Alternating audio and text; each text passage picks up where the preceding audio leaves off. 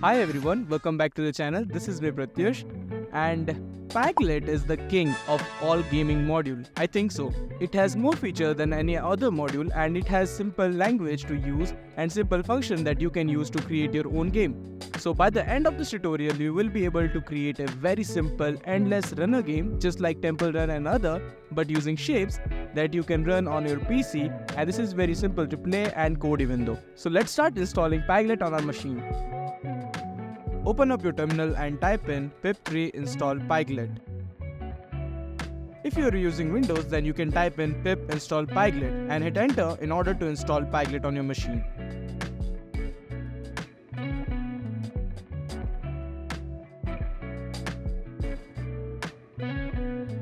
So after installing Pyglet, let's start creating our game. Alright, in order to create the Endless Runner game, we need to do three things. The first thing is creating the game elements, the second is obstacle management, and the third is game mechanics. So let's start off with creating the game elements. So the first thing in game element is player and ground. The player and ground are the essential part of our game. The player will run on the ground and jump over the obstacle. Let's first set up our project file. So what we want to do is go over to here and create a new and Python file. Let's name it somewhat like game.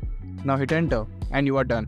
First of all we have to do is import the Pyglet and then we will be importing the shapes from the Pyglet module and importing the random module in order to create the random obstacle. Now we want to create a window so we just use the function which is pyglet.window and with a parameter like of the width 800 and height 600 which is great for this game. We will be adding the caption like endless runner game. Let's define gravity, jump speed and player speed. We will be doing it like minus 900, 500 and 300. Now in order to handle the graphics, we will be using .graphics.batch method over here. Now it's time to create our player and ground. We will be doing it using the shape.rectangle method from the Pyglet module with a height of 50 and width of 50. So in order to make a square, and then we will be adding a color somewhat like this and we will be adding it to the batch. Now similarly we have to create the ground using the rectangle again. So using the rectangle method again but with a different width and height with a different color. Now we will be adding it to the batch. So the next part is to handle the player movement. So now let's handle the player movement. We will drag the keyboard input to move the player right and left as well as handle the jumping. First of all, we will be using the KeyStateHandler method in order to handle the keystrokes and we will be also setting the initial player velocity to be 0 and an initial method of jumping to be false. Then we will be declaring the player velocity and his jumping as the global statement and we will be using the space method to start jumping. So in this way we can set the jumping to be true. So alright, let's head over to the obstacle management. Every good endless runner game needs obstacle to be dodged. Let's create and manage our own obstacles. So first of all, let's create a list which will hold all the obstacles over here. Then we will be creating a function to create more obstacle. We will be using random shapes and random rectangles in order to create those obstacles. We will be using append method in order to create endless obstacle on the platform. Now in order to update the obstacle, we will be using certain things like we will be increasing the speed. So we will be multiplying it with the player speed. And in order to remove the obstacle when they are off the screen, we will be using this statement. Alright, let's do the game graphics. Now we will be putting everything together in our game loop and handle the game mechanics like gravity, collision and drawing.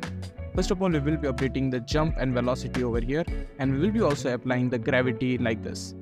Now in order to move the player vertically, we will be using the player velocity and multiply it with dt and also add that. Now in order to check for the collision with the ground, we will be using ground.y and ground.height method which will check for the collision with the ground and we will be following the same method for creating collisions with the obstacles. And once the player x and y coordinate matches the obstacle coordinates then it will automatically print the game over statement and exit the game. Now again we will be updating the obstacle again. This will handle basically the drawing method or the batch file and we will be scheduling the update function using dot clock and schedule interval with 1 by 60 and we will be setting up the pyglet clock with a lambda method and set the interval to 1.5. Now in order to start the game we will be using pyglet.app.run method in order to start the game. And there you have it, you have just created a basic endless runner game using Pyglet. You have learned how to set up a game window, create game element like player and obstacle, handle player movement and collisions and more. Feel free to expand this game by adding features like score, power-ups and even different levels. So this was it. I hope this video was really helpful and if it was then consider subscribing. Thank you for watching. Goodbye.